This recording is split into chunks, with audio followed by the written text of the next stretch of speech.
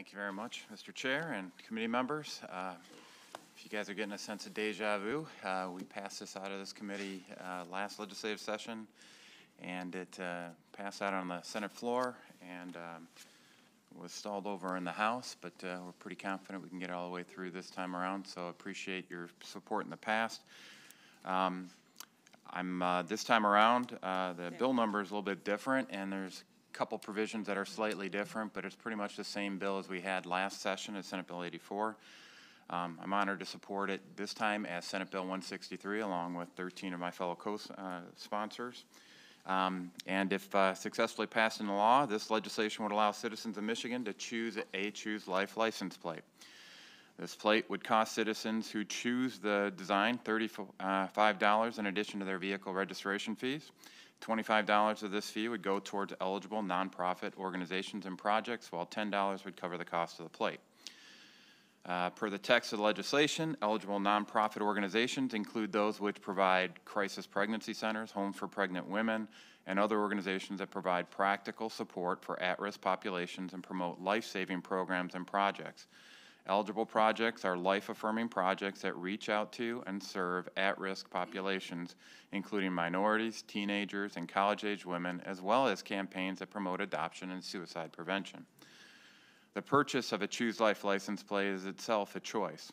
No one is required to purchase a Choose Life license plate. The principle of choice is embedded in the title of this license plate as it simply states, Choose Life. A common criticism of those who oppose life-affirming choices is that we focus too much on the life of the baby and not enough on the needs of the mother. It is my hope that those who are so inclined to accept this view should be supportive of this legislation, as this legislation is indeed focused on the needs of the mother. The proceeds from the license plate enabled under this legislation would help satisfy the material needs of the mother, such as diapers, gas money, or shelter, all within a loving environment that seeks what is best for the mother as well as the child in her womb. We all know that the baby in the mother's room is not the only vulnerable life that is impacted by an unwanted pregnancy.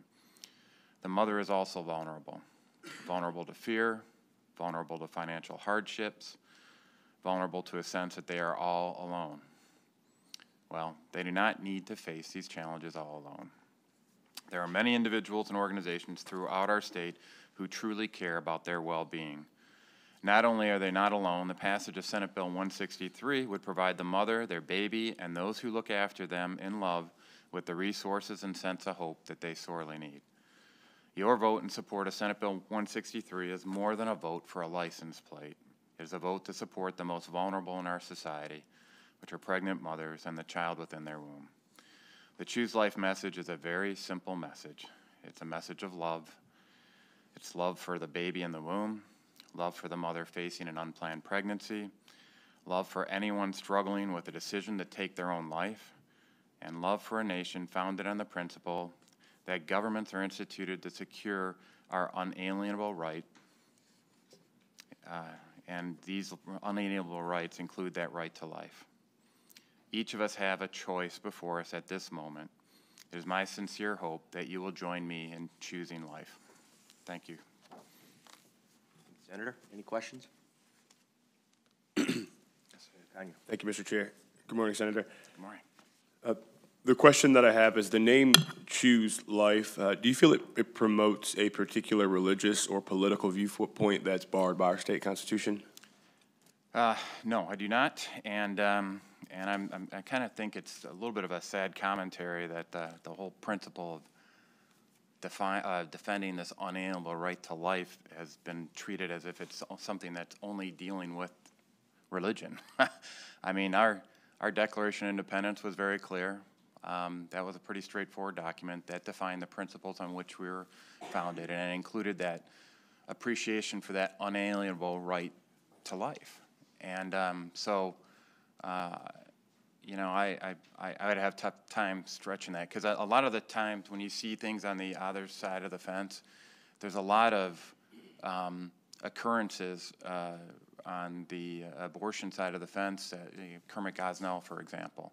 You don't have to be somebody of practicing uh, of faith to, to go off and understand that that was um, those were monstrous deeds that, that he, um, with the late term abortions that he did with the uh, and he was convicted on felony counts of, of murder, essentially. Um, that's something that you don't need a religious conviction necessarily. It's a moral conviction as a human being that you understand that those actions are wrong. So um, now I think um, uh, if if a lot of the women that were going into his clinic would have known that we had a support network such as that that's going to be promoted by these Choose Life license plate and the resources available for it, maybe they wouldn't have gone into there. Maybe they never would have been subject to um, somebody like that, like uh, Kermit Gosnell, and and um, and I don't think that that um, has any religious test associated with it. Thank you, Senator. Thanks. Senator Horn. Thank you. And, you know, thank you for bringing this bill again to us, uh, Senator.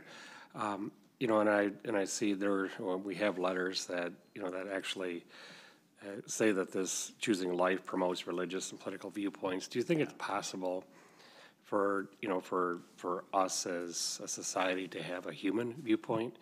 That, you know, that protecting a, young babies uh, is a, is an okay thing?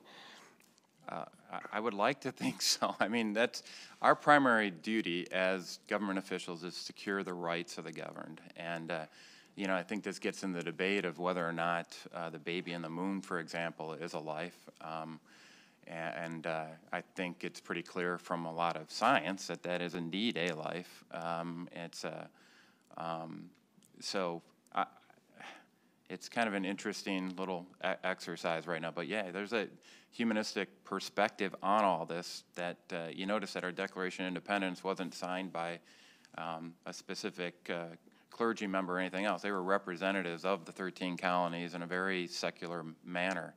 Um, I'm not going to say that the whole document secular, if you will, but I think that the, when we're talking about the idea of the purpose of government to secure rights that are many of us, whether you're religious or not, uh, find um, unalienable. I- I think it's that's kind of gets as close to a human right as you can get.